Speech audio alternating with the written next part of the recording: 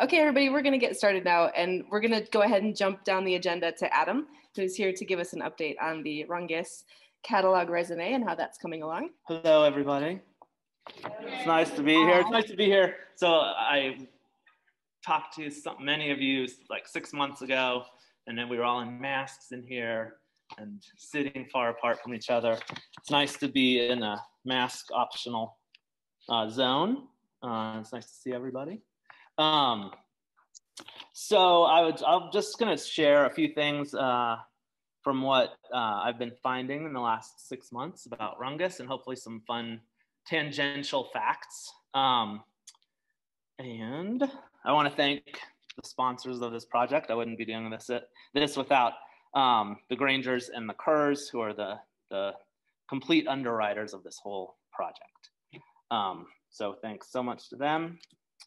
All right, if you um, started the Rungius Raisonné almost a year ago, a little more than a year ago, um, and one of the most public faces of it is uh, a web page on the NMWA website. So if you're out and about and someone for some reason asks you about it, you can direct them to this web page, which is on the art tab, Rungius Raisonné. It has what information we've got so far. Um, right now we're collecting info um, from sources that we know, like museums, this, you know, our collection here, um, illustrations that he did, etc. So we haven't opened it up to um, outside collections yet, but that'll be coming in the near future. And when those kind of things happen, we'll update the web page. And so people can go there to find uh, out more info.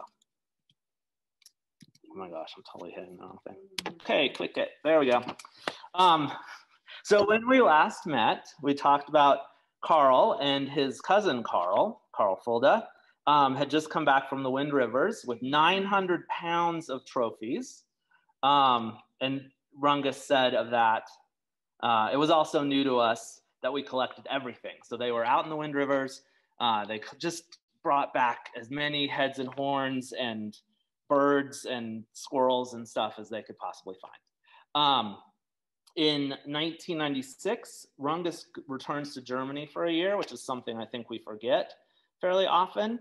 And apparently, I just found out that he donated most of this 900 pounds 900 pound collection to the museum, uh, Natural Museum, uh, Natural History Museum in Berlin.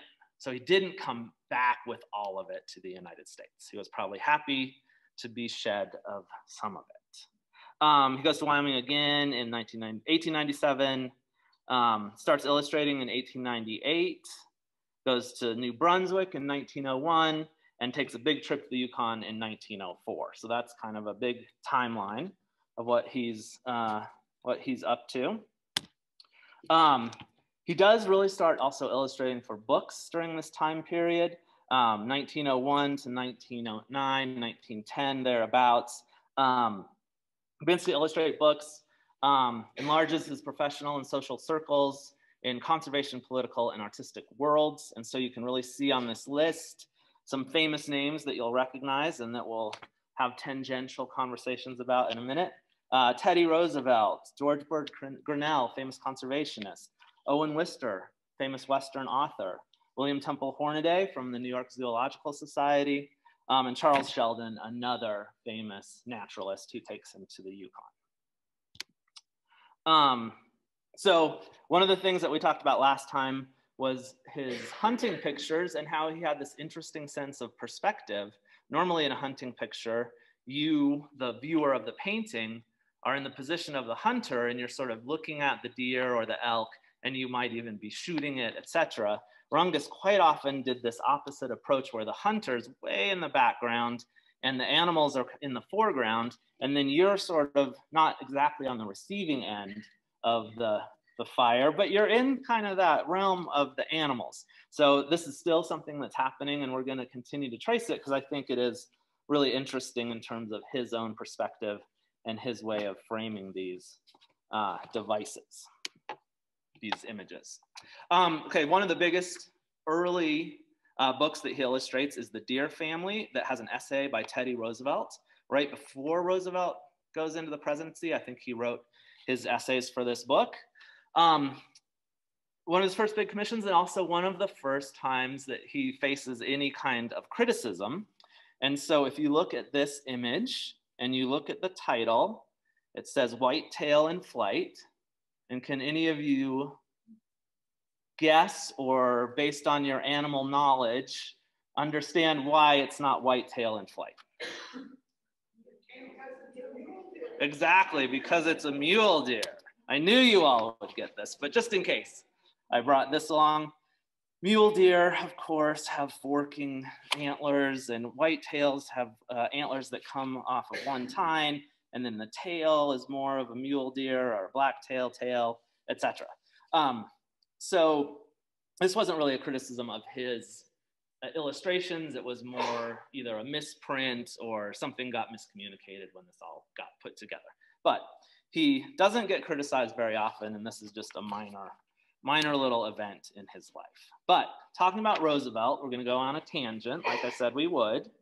Um, so Roosevelt was president uh, from 1901 to 1909, and he runs for a third term in 1912 against William Howard Taft. Um, the Republicans lose that election to Democrat Woodrow Wilson, in part because the Republican Party has split into two factions, which you might, you know, draw parallels to today.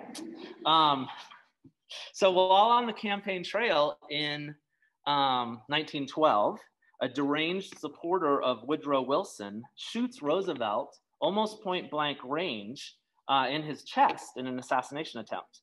Um, the bullet was stopped or slowed by this picture on your right, which uh, is Teddy Roosevelt's 50 page speech that he had folded up in his pocket and his glasses case.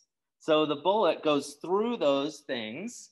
It does injure Roosevelt, um, but he goes on to make his speech that night, all 50 pages of it. Um, he collapses after the speech in exhaustion. He goes to the hospital, etc. It's a big deal, but he is um, showing how strong and etc. he is.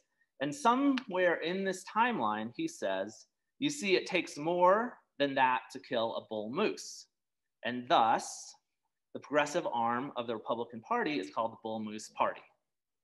So I'm sure you've heard that before. And what kind of subject matter, if you were Teddy Roosevelt, would you start collecting after such a moniker was conferred upon you? Um, maybe some moose paintings.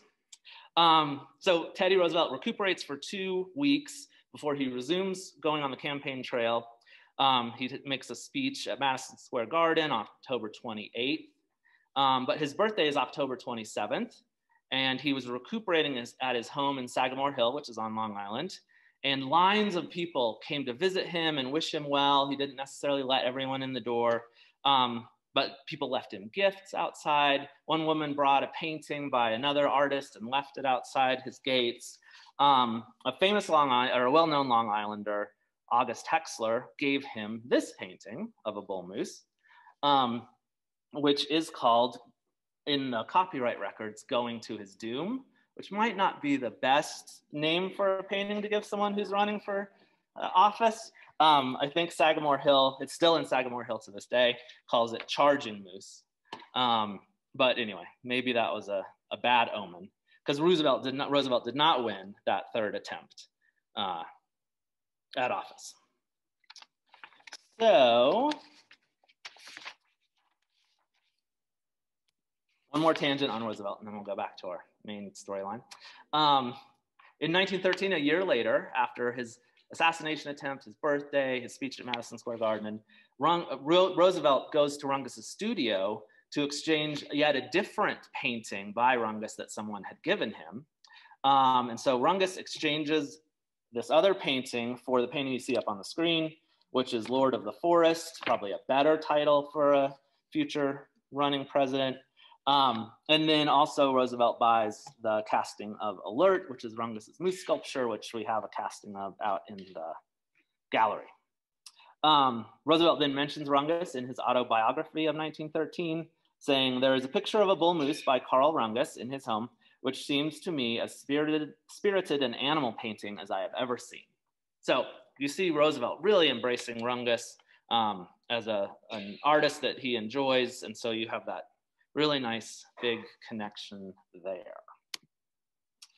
Um, we move on to Rungius's next book that he illustrates with the fascinating title of Musk Ox, Bison, Sheep, and Goat. Um, they couldn't come up with anything better for that. Uh, essays by Caspar Whitney, George Bird Grinnell, and Owen Wister. Caspar Whitney was the editor in chief of Outing magazine that, that Rungius was illustrating for. George Bird Grinnell, you may be familiar with, a very famous early conservationist, helped save the American bison from extinction. And then Owen Wister, you're all, I assume, familiar with him. Great friends with Frederic Remington, author of The Virginian, which is the quintessential Western novel, Western story, upon which almost every single other Western movie, story, etc., is based. So he was, and you know, acknowledged during his era um, as being that that wonderful and important of a person. Um, interestingly enough, and I hadn't ever made this connection in my head, Mount Wister, right out here in the Teton Range, is named after Owen Wister. And I didn't know if you all knew that, but I just thought that was a fascinating little local twist. So we have Mount Moran for Thomas Moran, Mount Wister for Owen Wister. And Mount Owen for no, yeah, not Owen Wister, but so I did look this up because uh, I wanted to know what I was talking about. I think Mount Owen was named after one of the first uh, white people to climb the Grand Teton. That's my that's my understanding. A contested uh, summit, whether that was the first person to climb the Grand Teton. Um, so let's continue. Still Hunter, really interesting book about deer hunting methods. Here's a great whitetail deer illustration you can see by the horns there. Um, really nice illustrations, really nice reproductions in this book. Um, illustrates the uh, uh, American Natural History by William Temple Hornaday, who you know would go on to commission those huge paintings that are in uh, the lobby um, and the ones that are at Buffalo Bill as well. Um, does a book, well, maybe does this book uh, called The Life of Animals by Ernest Ingersoll. There's no credit in this book for any Rungius illustrations, and they cut off all of the borders of the illustrations so you can't even see his name. And I only found out that he had illustrated this book because of a list that Doug Allen, the artist, had made. Doug Allen is a really big Rungius fan. He'd made a list and this was on it. So I went and checked it out. Um, probably the biggest publication um, of his later book illustration life was Wilderness of the Upper Yukon, written by Charles Sheldon. There's a Sheldon National Wildlife Refuge for pronghorn that I think is in Utah or Nevada. Uh, Sheldon has been known as the father of Denali National Park for advocating it to become a national park. Um, Sheldon finances this trip in 1904 with Rungius and naturalist uh, Osgood to explore the upper Yukon, and they're looking for mountain sheep, Dall sheep, stone sheep, and bighorn sheep. Um, Sheldon, okay, here's a tangent again. After uh, Sheldon became independently wealthy as an administrator of various railroad projects and owning a stake in a silver mine, he spent the rest of his life doing expeditions like this, going off into the Yukon or other wilderness areas, exploring, hunting, bringing back specimens, etc. Um, and on these trips, he would often take people like Rungius, Osgood, and uh, also on part of this trip that they went on was this guy named Frederick Selous, who is a very well-known uh, hunter at the time. And I'll say more about him in a second.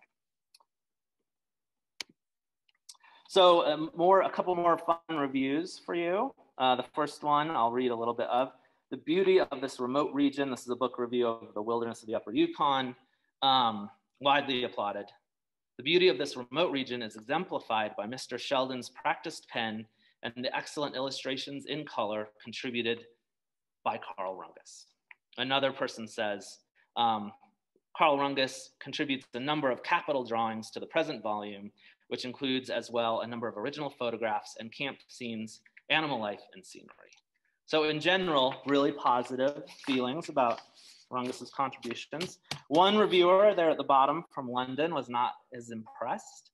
he said, the book is profusely illustrated with reproductions of photographs, which give an admirable idea of the stern character of the country, and also contains some drawings and rather weird colored plates by Mr. Carl Rungius. So given the, uh, granted the color reproduction technology at this point in 1909 was not uh, amazing, and the, the reproductions are a little bit kind of funny, but I don't know. I don't know if they're weird. Uh, so anyway, uh, what's fun is this painting right here, Precipice Upon Precipice, included in the, the book and also is in this collection and I think might be in the Rungius Gallery. I can't remember if it's still in there or not. Um, illustrating Rungius's trip to the Yukon, which is an important part of his growing again these circles of influence and people. Now back to Frederick Selous, uh, famous hunter, naturalist, conservationist, and author. Um, he, for example, led Teddy Roosevelt's African Safari in 1909, kind of the epitome of the great white hunter.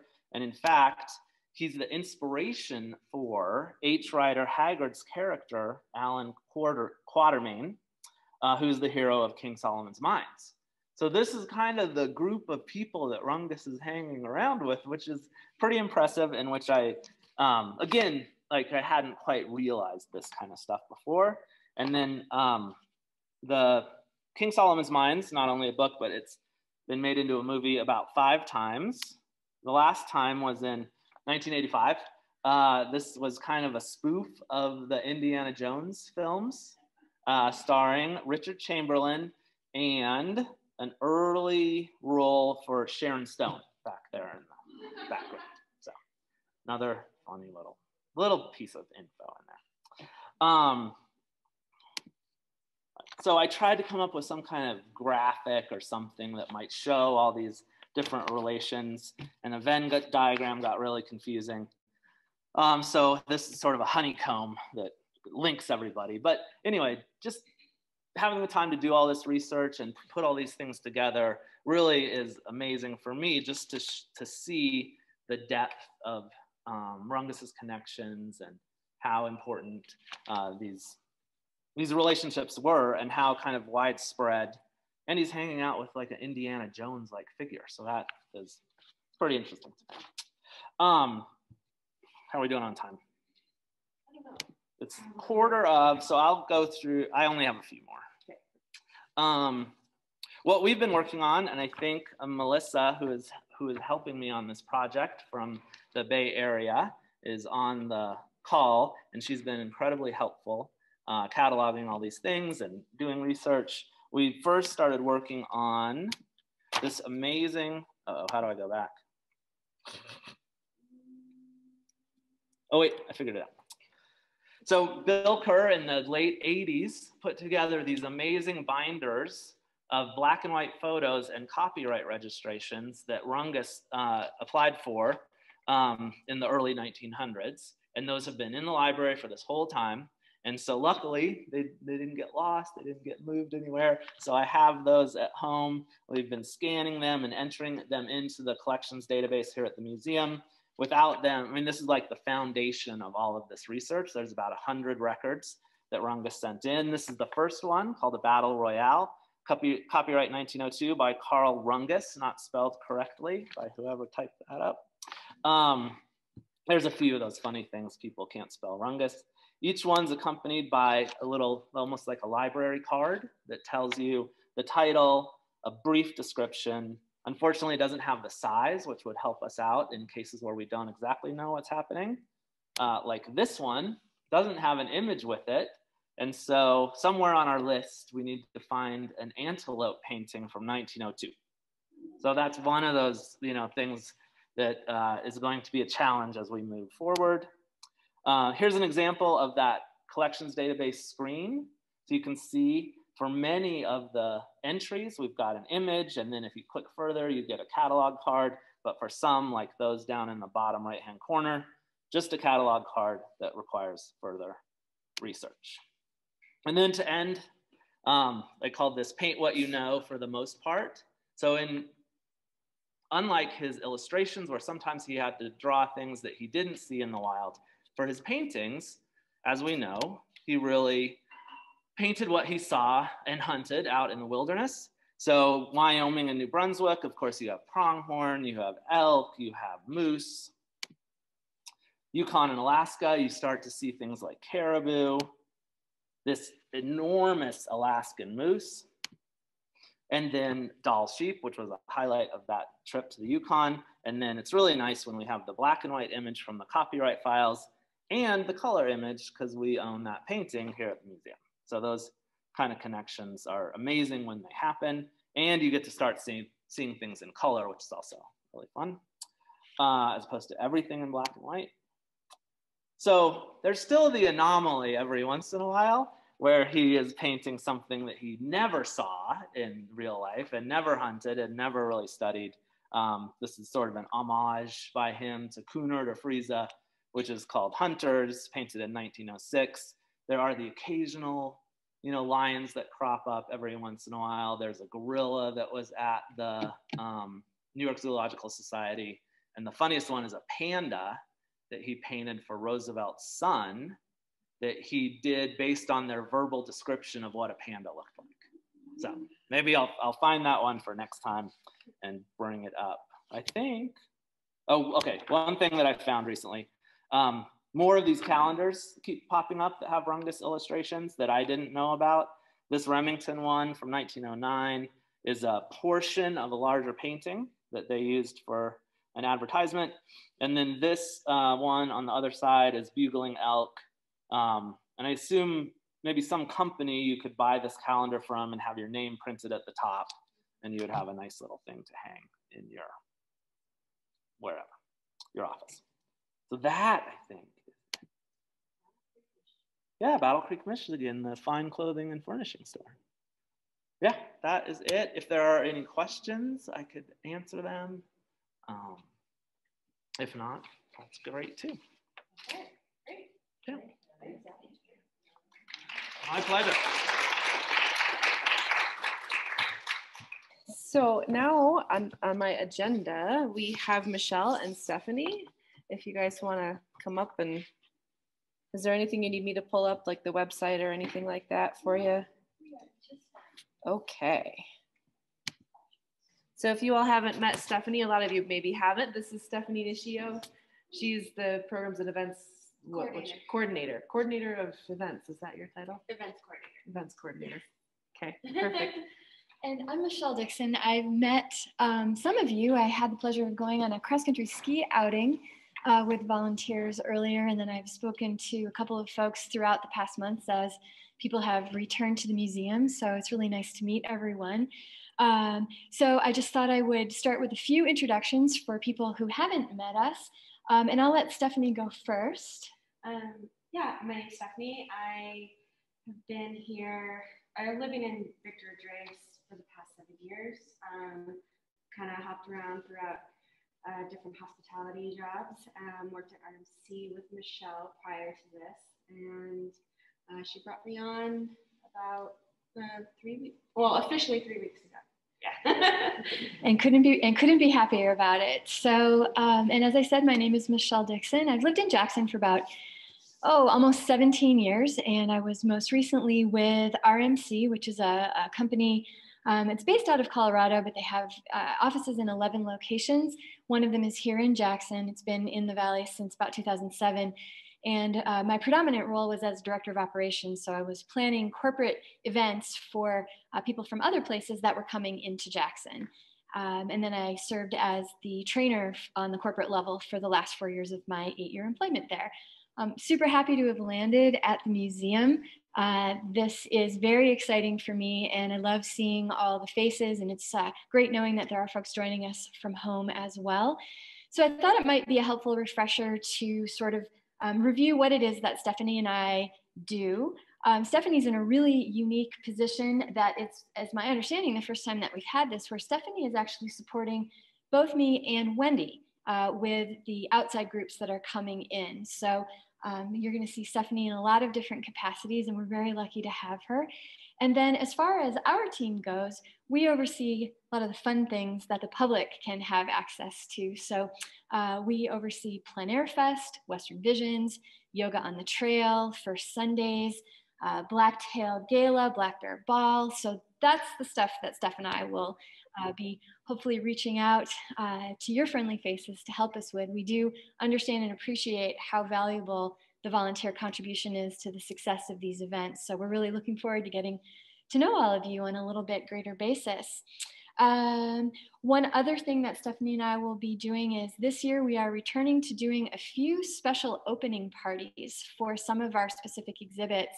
Um, and really happy to say that we'll be hosting uh, an opening party for the National Geographic um, 50 Best that is opening in November. So that's the first time it's my understanding that we've had an opening party for an exhibit in quite a while. So happy, happy to be a part of that.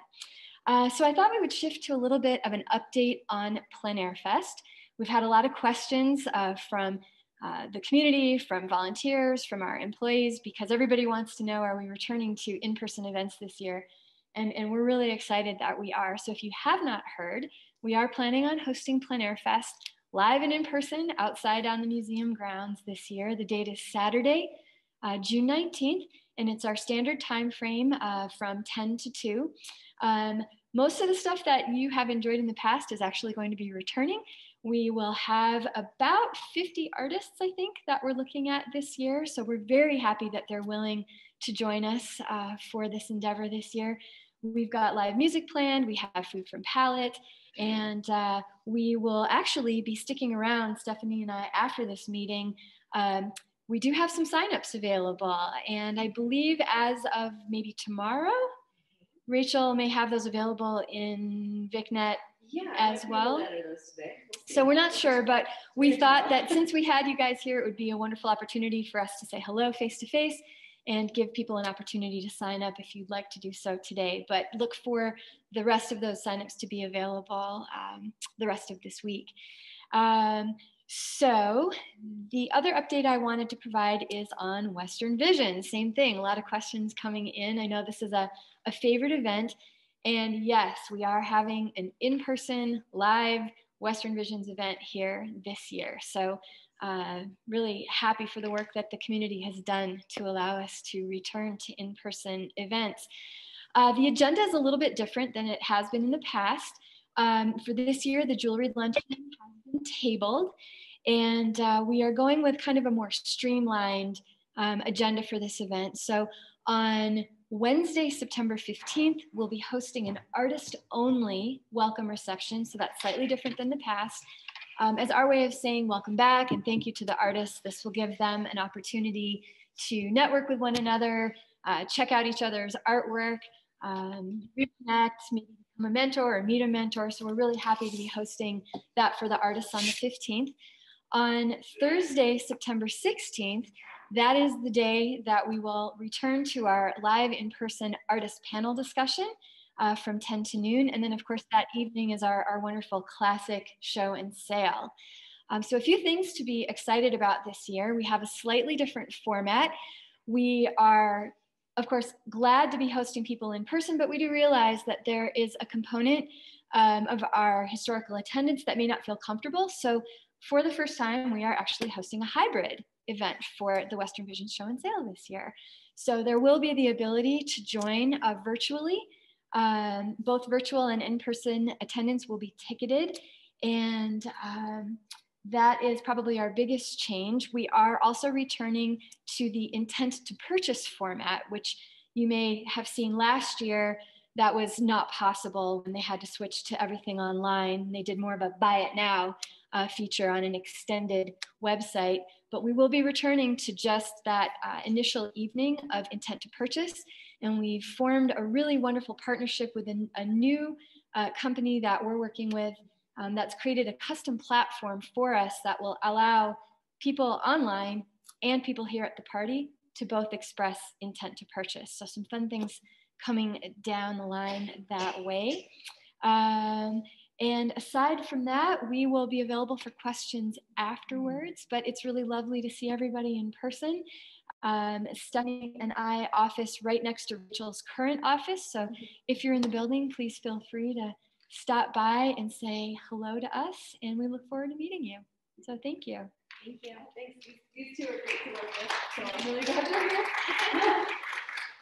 I'll mention quickly, um, we've been working a little bit as far as Plein Air Fest goes and um, sort of rewriting some of the job descriptions. And so I did print off um, a form over there if you feel like signing up for a shift already. Um, the job descriptions are typed in there uh, with a little bit more specifics than was on there in previous years. So I think that'll be helpful. And um, so feel free to go ahead and do that. And then like she said, I'll, I'll get it up on VicNet to sign up there too uh, shortly. Okay, so I am going to chat for a couple minutes here about Make It Wild and just kind of share with you some stats. Um, well, not so much stats really, but some survey results.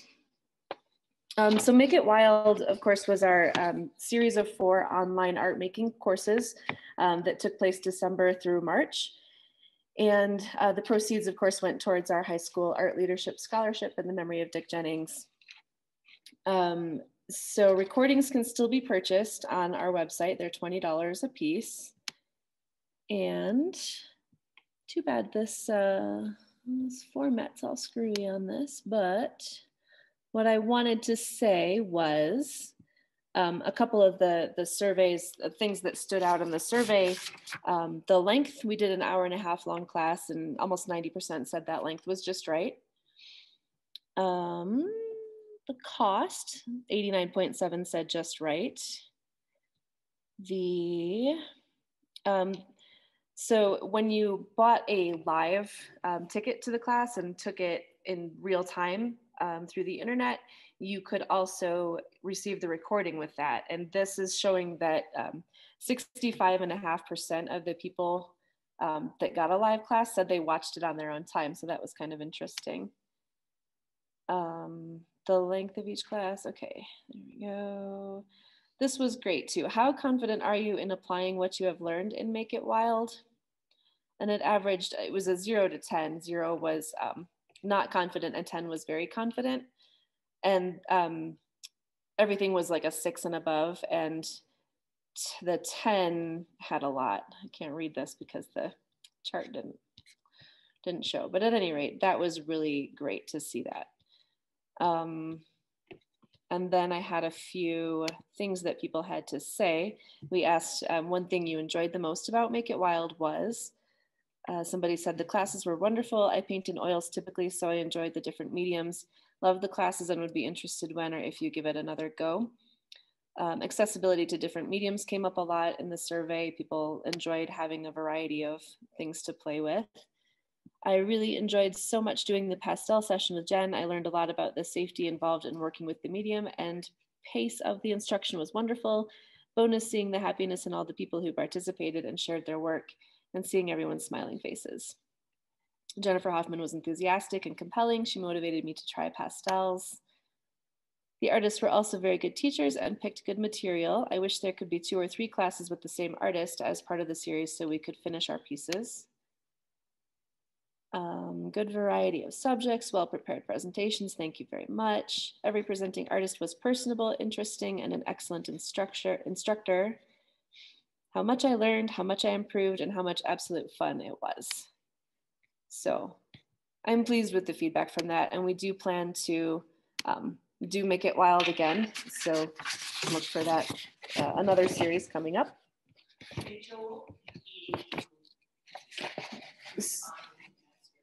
So this in general was geared towards adults and most of the, at least the live participants that I can remember were adults with only a couple of exceptions where there were some younger kids that kind of joined with their parents. Um, so, I mean, I would have to look back and see for sure what, you know, more specifics about the demographics of the, the survey responders, but we had 29 responses, I think, 29 or 39. Um, we had a really good response rate.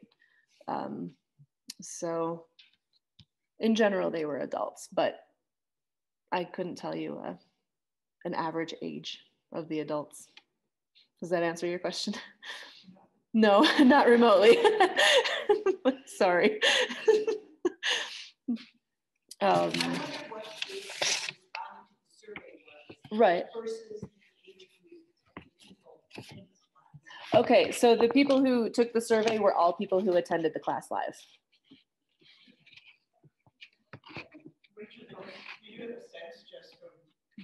Survey, Mhm. um, registrants asked what the rate was. What, did we get the twenties, the thirties, the sixties? Right. What was your sense? I mean, it was it was pretty all over the board. I mean, I know there were definitely we didn't. We saw them, right? I would say it ranged from people in their twenties. Yeah. People in their Six, definitely 60s, some 70s, probably some low 70s. But I would put it in the 40 to 60 range overall. Yeah, if I had to guess an average, I would say the 40 to 60 was average. And then those who responded to the survey were Right. pretty much that same group. Pretty much. Most of them Yeah. didn't respond. They did. Yep. Yep. Okay. Um, any other questions about Make It Wild or anything so far?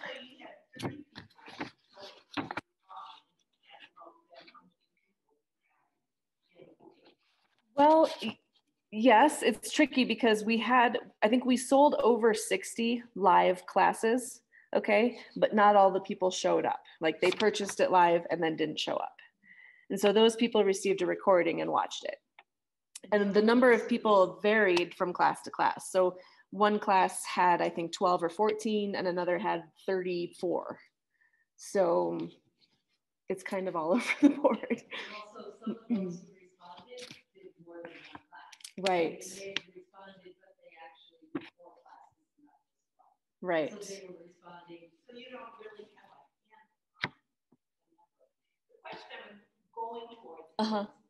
How did Mrs. Jennings feel about money Right. raised for the scholarship versus what used to occur? Right. Well, we we exceeded our goal for fundraising, so we're pleased with that. I was trying to find the the exact amount, and I couldn't find it yesterday. And yeah, it was under five thousand, but oh, pretty well over four thousand. So, yep. Right. Yeah, there are definitely advantages to doing it virtually, which was was surprising. But when you think about doing an in-person class, if you have 34 people like we did in a couple of those classes, it's hard for that many people to crowd around an artist while they work to actually see what's going on um, or to do your own work you'd have to be so spread out. Um, so there were definitely advantages to doing it with zoom and overall it went really well. Technologically surprisingly knock on wood it went it went really well. Okay. I think we can move on from that topic. I wanted to mention um, just drop the new employee names for you all again with our meeting not starting on time. It's kind of a mess to actually introduce people here today, but um, we have a new security services officer named Dustin. Uh, we have Elizabeth Burney, who's our major gifts officer, and Stephanie, who you met briefly. Um, at the admissions desk, we have a summer seasonal, Kay Anderson, and then we have two interns over the summer, one for education, of course, and one for curatorial, like we always do. Um, education curator's name um, is Coyote Shook, and the curatorial intern is Kelsey Only Wall. And they were both able to find some housing, maybe not 100% ideal, but they do have housing, so they're taken care of in that regard. So I have a new office location shortly where we added three new office spaces off of the classroom. So the Asperity classroom, which has been used by Palate, um, is going to be three new staff offices because we're pretty short in office space. So myself and um, Sari and Wendy's offices will be in those three new spaces. So I don't have a move-in date yet because they still need to do the data on the phone line in there, but I imagine it'll be in the next few weeks. So I'll make sure that you guys know when I'm officially moved over there so that you can try to find me. Okay, Volunteer Leadership Committee. So the Volunteer Leadership Committee, I wanted to just refresh everybody's memory on what that is and who the current VLC members are. We call it VLC for short. Um, it's generally a two-year term and time kind of got away from me and I'm realizing that a lot of our VLC members have been on for more than two years. And so I want to try to start rotating some of those people off. I don't want to lose everybody all at once and have to restart with a whole new group. Um, but over the next year, I'd like to kind of give people an opportunity to rotate off or to join our committee. So as um, a reminder, the mission of the VLC is to support the National Museum of Wildlife Arts mission and vision by serving as an advocate for current and future volunteers, working with staff and board to set expectations and maintain strong and positive communication. Um, so some of the roles of the VLC traditionally um, identifying issues and concerns and working as a team to resolve issues positively and in a timely manner, brainstorming and assisting in the implementation of enrichment opportunities and social engagement opportunities for volunteers both on and off site. Um, they help me maintain the hospitality funds um, account that we have to send cards and flowers to and from volunteers. Um, all kinds of ways that they help give me feedback uh, as far as the volunteer program in general. And I appreciate VLC very much. Um, we meet monthly at the museum um, and we do one offsite retreat per year. In COVID, we've kind of been meeting once every two months, but we may start going back to once a month before too long. So I have greatly appreciated the input, input from our current group, which includes Lori Bay, Sally Berman, Lisa Carlin, Bill Finerty, Joyce Fry, Diane Hanson, Jane Malashak, Julie Matke, Nancy McCarthy, Karen Rocky, Ellen Sanford, and Bobby Thomasma. So thank you for you guys, to you guys. Um, and then Lucretia Finley, um, I think is gonna join as one new member, but I think um, if there's one or two more people that would like to join it um, and kind of have a more of a leadership volunteer role, then please um, talk to me and I'll send you an email with a, a more, um, you know, an, an invite to join. Any questions on VLC? Uh, volunteer appreciation party. So planning has begun for an outdoor in-person party this year, which is great. Woohoo! And details will be announced soon. I'm looking at August. Um, can kind of pencil in August 3rd, but nothing is confirmed yet.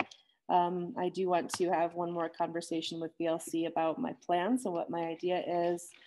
Um, but stay tuned for details and an invitation in the mail to that. And as in previous years, we'll announce a 2021 Volunteer of the Year at our awards um, ceremony at the appreciation party. So voting um, begins now for Volunteer of the Year for 2021. So please think of an exemplary volunteer um, who's worthy of some recognition and just email me your nomination. I'm going to give you some time to do that. I think um, by the end of June would be great if you could get me um, your nomination.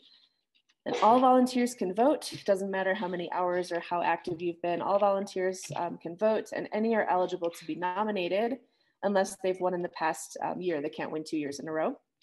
So our 2020 winners were Susan Brooks, Natalie Goss, Allison Jones, Cynthia Quast, Bobby Thomasma, and Martha Van Genderen. Um, so please think about a volunteer of the year and let me know. I printed off some new directories that are fairly up to date. So there's a pile of them up here. If you want to grab one on your way out, you are welcome to. And let me know if you'd like a new photo taken. Some of them are maybe older, but a lot of people like the older ones and that's fine too. So whatever you like, um, or if you have a change in phone number, address or anything, just maybe take a look at it and let me know if things are out of date. Now I can move on to, let's see, a little more calendar type stuff, trainings, um, trainings, events, and social outings. Uh, as far as trainings go, we have a Plein Air Fest training date of um, Friday, June 18th, which is the day before the event, and it'll be at noon, just outside on the, um, in the amphitheater. We have sneak peeks starting up again, which is really great um, with our new exhibits coming up, our new summer exhibits. So there's a sneak peek on uh, May 21st. Scroll this down a little bit. Okay, um, May 21st, and they're always at 11:30, and they're about half an hour. So May 21st is Unnatural Selections.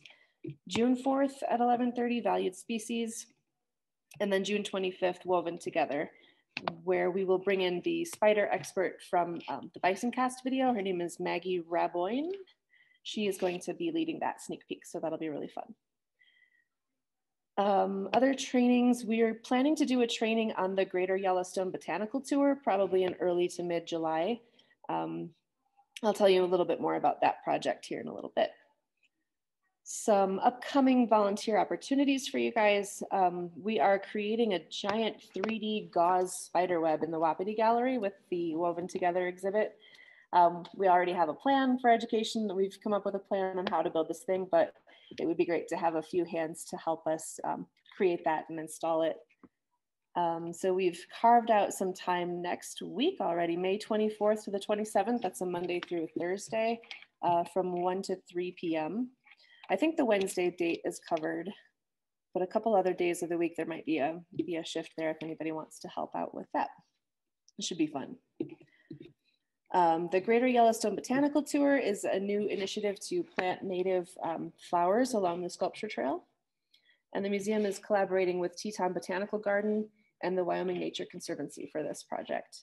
And they are planning a planting week, June 21st through the 24th.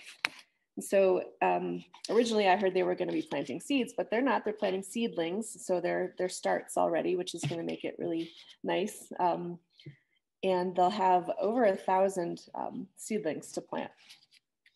So we are looking for up to six volunteers to help on each of those four days, June 21st to the 24th. And um, volunteers will have lots of direction and training from, from our partners with this and telling you where to plant them and things like that. But of course it's outdoor work and it's kneeling and it's digging.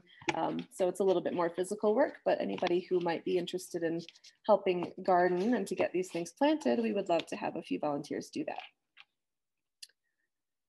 Fables, Feathers, and Fur restarts in June, so that'll start June 4th, and it'll be every Friday through at least August. And those shifts are available on VicNet too to sign up for if anyone would like to read a story or help and or help with the art project. Um, the front desk has uh, iPod touches, which you guys have had a little bit of training with in the past or hopefully are a little bit familiar with, but those are preloaded with the mobile app tours. So it's basically the replacement for the audio tours that we used to have, the ones. And we have a pretty simple checkout process at the front desk for those, but I know it takes a little while for the front desk to do that and to help people with that. So it would be nice to have a volunteer that could be stationed at the front desk for just a couple hours, maybe in the afternoon during the busy times um, to help them check out those iPod systems. Um, you don't need to understand the technology very much, just a basic understanding of how it works. And obviously we'll train you on the whole checkout process, which is, like I said, pretty easy. So we're happy to train you on that. Social stuff, we um, have hiking coming up starting in June. Uh, we're gonna do the first and third Tuesdays of the month, starting June 1st. Um, time and location is to be determined yet for hikes, but we're ready to get started doing that. And then we have one more Monday musings on May 24th in the Climber Studio. And then we're gonna kind of take a break of, for summer from, from the Monday musings um, group. And kind of in place of those musings, we're gonna do a sort of bring your own picnic, a BYOP, uh, bring your own picnic on the sculpture trail. And we'll do that on the second and fourth Mondays of the month. Just as a, as a way to have a, a social thing and talk a little bit about art if we want to. Um, book club spring session was really fun and a, a, good success, I think. And a copy of the book that we read, the Wildlife Artist Handbook, is available if anybody's interested to read that that wasn't part of book club, or if you didn't get a chance to buy a copy of it, we do have one here on site if you want to check it out. And book club's going to take a little summer break and then we'll restart in the fall with a new book. So if you have any suggestions for a book, please let me know. Other things relating to the uh, mobile app tour, we've had it in our um, our goals to do what is it, two new apps a year. So this year we have two um, two new mobile app tours that will be released this summer to just um, be ready for when those come out. One is focusing on women artists called Making Art in the Anthropocene. And then we'll have an app tour along with the Greater Yellowstone Botanical Tour as well. And that one's actually going to be available in English and Spanish, which is really exciting. And um, on a side note about that, we're always looking for people to help with Spanish English translations. So if you or anyone you know speaks Spanish and would like to help us volunteer, sometimes we have a little money to pay for translators. Um, please let me know if you know someone with Spanish speaking skills. We are always looking for people with that skill set. Upcoming exhibits, um, Unnatural Selections, Wildlife and Contemporary Art opens May 22nd. You just got a sneak, little sneak peek in there. Um, Valued Species, Animals in the Art of Andy Warhol and Ai Weiwei starts June 5th, goes through August 29th. Woven Together, Art and Arachnids is June 26th through October 16th. And then Western Vision, September 10th through October 3rd.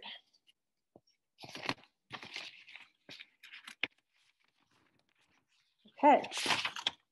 Look at that. That's the end of my uh, End of my agenda here.